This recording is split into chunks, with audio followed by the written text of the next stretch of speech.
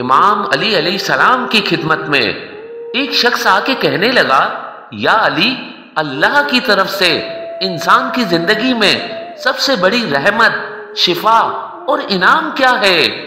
جیسے ہی یہ پوچھا گیا تو امام علی علیہ السلام نے فرمایا، اے شخص، اللہ نے انسان کو ہزاروں نعمتوں سے نوازا، لیکن ان عظیم نعمتوں میں سے افضل ترین نعمت بارش کا پانی ہے۔ اللہ نے بارش کے پانی میں رحمت، نور اور شفا کو پوشیدہ کیا۔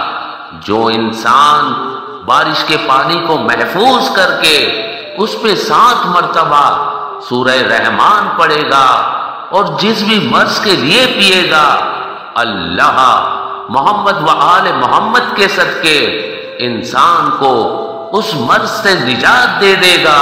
دے دے گا کیونکہ بارش کے پانی پہ جب بھی کوئی انسان سورہ رحمان پڑتا ہے، تو بارش کے پانی کا ایک ایک قطرہ اللہ کی طرف سے انسان کے لیے شفا بن جاتا ہے۔ اور یوں اس کو پینے والا ہر قسم کی بیماری سے محفوظ رہتا ہے۔ محفوظ رہتا ہے۔